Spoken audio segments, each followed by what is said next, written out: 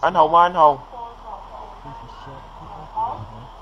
Thằng à, mặc đồ bây giờ nó nói à, cho nó làm việc ở đây phải em ki-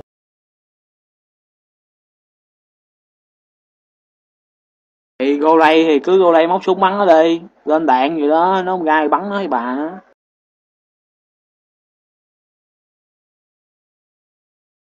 Đâu lần trước có bài kiện thì triệu vĩ ờ, ra ra bắt làm member này, như quy ấy. các chú bắn nó cẩn thận vào tù ấy